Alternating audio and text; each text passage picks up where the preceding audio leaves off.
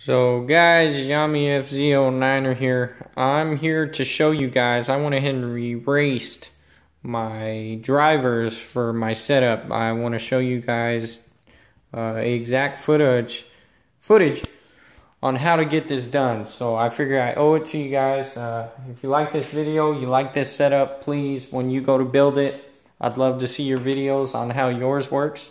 And uh, be sure to comment in there, you know, yeah, you saw a little bit from here, but uh, go ahead and show you guys. So, it's a MacBook Air.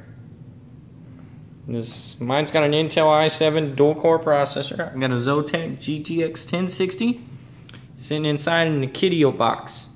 Watch my other videos. It'll show you how to get this far. Got my power supply along with the Thunderbolt and my Molex to barrel plug, guys. You can buy those barrel plugs at Best Buy and they come in the little box, little package. Watch the other videos, it'll show you. They work fantastic. So, I'm rolling with an EVGA 600 watt because I think I might actually upgrade to a GTX 1070. I found a mini that fits in here from, uh, I believe it's Gigabyte or something, whatever that is. But, uh, alright guys, without further ado, I'm to show you how to do this boot up process in the raw. So guys, we're back. I'm to turn it on. Heard the chime, hold down option. I'm to wait for this to pop up. Macintosh and Windows, guys. If you don't have this on yours, download Boot Camp. Just look it up. It's really easy to do. Select your Windows. The moment the Windows insignia pops up, you need to hit the power supply button right here. So I'm to see if I can do this. Power supply on. Guys, I haven't had much of a problem starting this thing and getting it up and running. So I'm to show you guys how to do this right now. Go to settings device manager. You're gonna go down here, device manager. And this is what you should see. Go to your display adapters. And I think I turned it on too late. So that was fail. So I'm gonna go ahead and do that again for you guys. I'll get it right back to here. So guys, don't do what my dumbass did and forget to plug in the uh, Thunderbolt cable. So once you get to this setup, you'll see this right here. This is what happens when you don't have the drivers. So you click on here. It says free resources that it can use. Disable one of the other devices and you restart your computer. Blah blah blah. Just go to drivers, driver details, go to cancel. Changes to take effect. Uh, go ahead and hit no on that. So we'll go back through here. We'll go to NVIDIA or go to the website. Type in www.nvidia.com. Go to the drivers, guys. And I'm going to try downloading the new drivers and see if that works. And I'll get back to you guys on that. So guys, when uh, you go to download the NVIDIA GTX 1060 new drivers, you're going to be hit with this code. It says Windows has stopped this device because there's reported problems. Code 43. So that's what you're going to get when you go to download the new drivers. So I'm going to show you guys right here what to do next to get this setup working. So what you're going to do next is you're going to hit uninstall delete the driver software for this device, hit OK. It uninstalls it, and this is what you get. So what you guys do is you go through it again, come down here, you shut it down. Actually, you know what? No, you don't have to shut it down. You can actually download the uh, the next set of drivers, and here's what I'm going to show you. This is the version the new version that they ask of. This version is not going to work. So what you're gonna do, is you're gonna go back to drivers. You're gonna go to GTX 1060, Windows 10, 64-bit. You're gonna hit start search. Now here's how I got around this, guys. You're gonna scroll down. You're gonna go to version 372.54. You're gonna download that, agree and download. It should pop up down here. You're gonna hit save. And you're gonna download that guys. And I'll show you here in a little bit how to take care of that once this gets done. So guys, once that file is done, hit run. It's gonna pop up with this. You're gonna hit yes. Okay. And it's gonna start downloading that model of drivers for you. You look here, 372.54. That's the driver model you want. So you let it do its thing and we'll go from there. So guys, after that, you're gonna go ahead and shut everything down. You're gonna get it back to here and you're gonna reboot into Windows. So we started back up.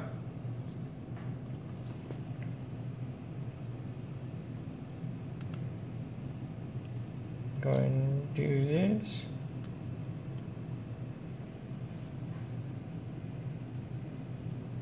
And what you'll see here is you go back through your menu, device manager, and this is what you'll see guys. Video controller VGA compatible. Oh, now it's reading it. And it's going to tell me 12. You're going to have to restart. Go ahead and no. And we're going to go to that driver we downloaded, which was a 373 version. And let's see if I can find it in here. And we'll go to, if anything, just go to your downloads and it was version 372.54 so you go into your downloads go to that 64-bit go ahead and double click on it and run that program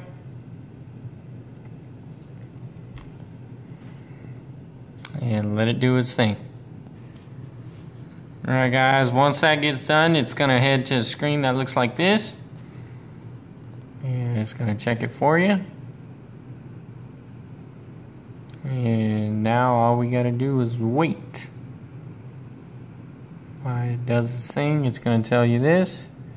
Go to agree and continue. Uh, Express, it's usually what they recommend. You can do either or, but I do custom just to see if there are files that I already have on here. See current version so yes, I'm gonna download all of this because I want what's what is on the 372.54. So next and there we go. It's gonna download that. I'll let you know where to go from there. Okay guys, so the NVIDIA installer has installed. That's version 372.54 which is the version you want. And then you go to restart now. Now this is important. When you restart now, go to your power supply.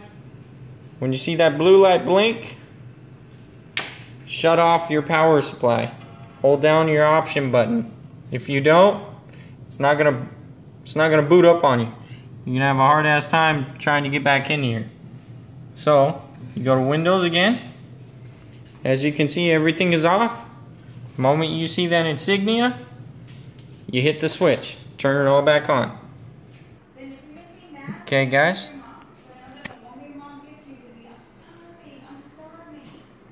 So, I hit the power switch, my power supply and everything, the moment I saw that insignia. This is what uh, driver version 372.54. So it might take a little bit. Please wait. So let's check, see if it worked.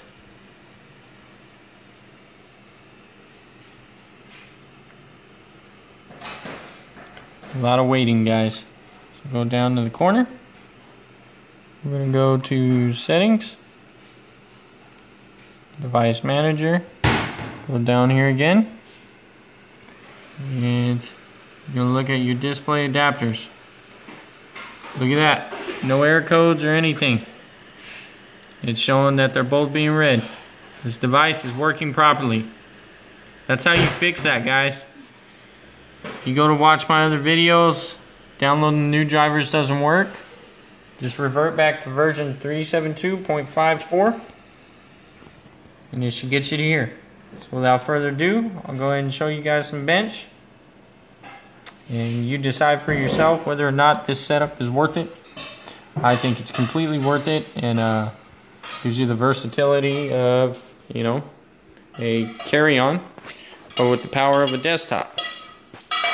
So without further ado, go ahead and benchmark some of these for you. So guys, the first game I'm going to benchmark for you, the Gears of War 4. Plays pretty smooth.